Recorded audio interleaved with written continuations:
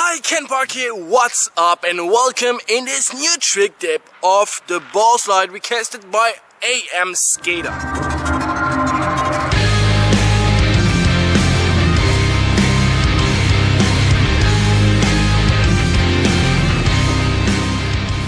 All the first week we were filming in a skate park, but a little technical problem. Anyway, we're back. What you need is not a flat bar. Surprisingly, I, I know that most of you will probably want to learn it on a flat bar. But what you first want to do is actually find a little box like this, middle coping, and if it can be woody, it ease the whole process. Because believe it or not, boardslide is a hard trick. What?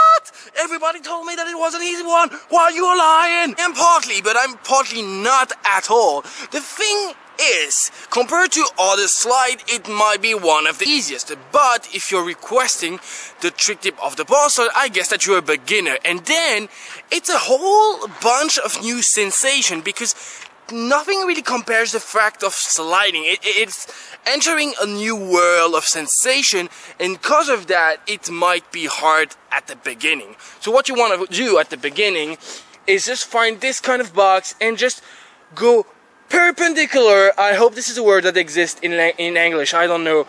And you just ollie on it. Just take your board and and do a ollie and try to to to find your balance, you know, to understand what's going on. To do the boardslides, there's really two tricks that you have to do. Obviously, the ollie and front 180 will really, really help. The beginning starts kind of far from the box, so you will find your speed. Speed is the key when it comes to slide and grind. So, what you want to do is roll,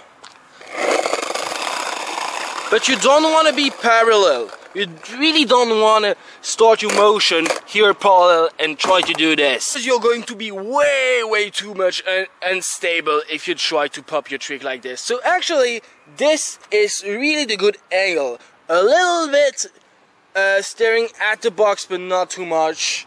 And around here, you're going to open your shoulders and try to do it. So now what's the foot positioning? I'm kind of doing a, a, a, small 180 it's what I advise to learn the trick first.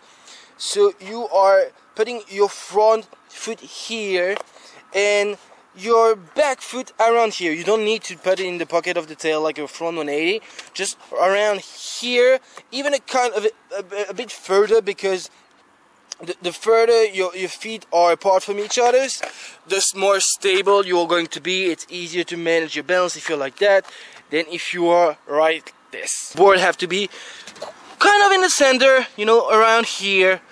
And then your shoulders do everything. Remember, you open it like this. Well, then you look where you want to go out.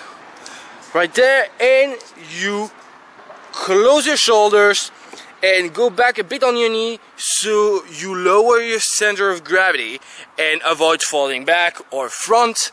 And when you are around here I know it's a mess. I'm moving the camera every single way. Got some kits on Amazon. Actually should come today. So when I go home should be there. Next trick tip will be way better. So you are right here and you are doing a, a direct hit from your shoulder like Yes, if you don't have enough speed, there's a, a, lot of probabilities that your back heel is gonna hit here and it's gonna stop you. But otherwise, once you mastered all those processes and understand all this motion, it's a very easy trick. Hope that uh, that helps you out and that you're going to make the trick. If you learn the trick, um, do send me it. Do send me it. Send it to me at Ken Park Skate. That is my Instagram, and I will repost you and do a shout out. If you have any other trick that you want me to see, just ask it in the comment. If you have any problem with the trick, I will be very happy to help you in the comment section. If you want to see, well, you understand it. If you want anything, a burger, a fry,